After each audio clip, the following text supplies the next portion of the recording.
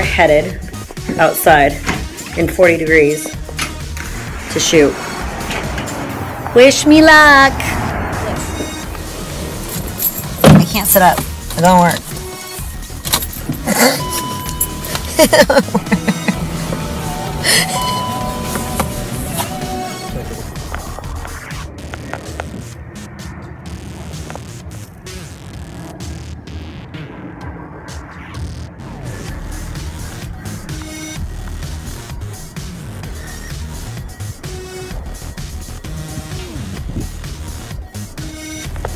just want to say I have a lot of respect for deer because these antlers are getting stuck in everything.